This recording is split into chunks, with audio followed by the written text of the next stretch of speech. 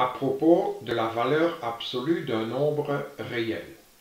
Pour n'importe quel nombre réel x, la valeur absolue de x, c'est ce nombre x il est plus grand ou égal à 0, et c'est moins ce nombre x il est strictement négatif. Par exemple, la valeur absolue de 3, c'est 3, parce que 3 est positif.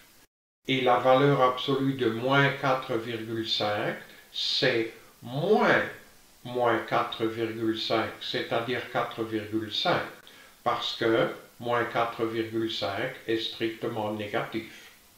Si on regarde sur la droite réelle, la valeur absolue de ce nombre moins 3,5, c'est 3,5.